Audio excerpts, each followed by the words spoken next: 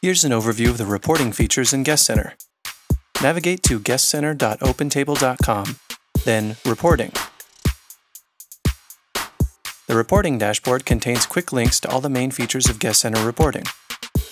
Reservations report shows information about your restaurant's reservations on a daily, weekly, or monthly basis.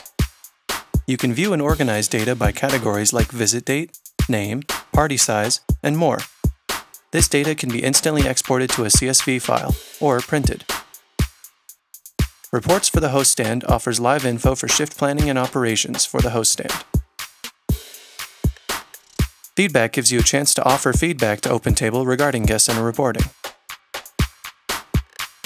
Manage your email reports allows you to activate or deactivate monthly automated email reports for your restaurant. Download guest information allows you to download your guest info stored in Guest Center as a CSV spreadsheet for easy use with other applications. Be sure to specify if you want information for guests opted into email marketing or all guests.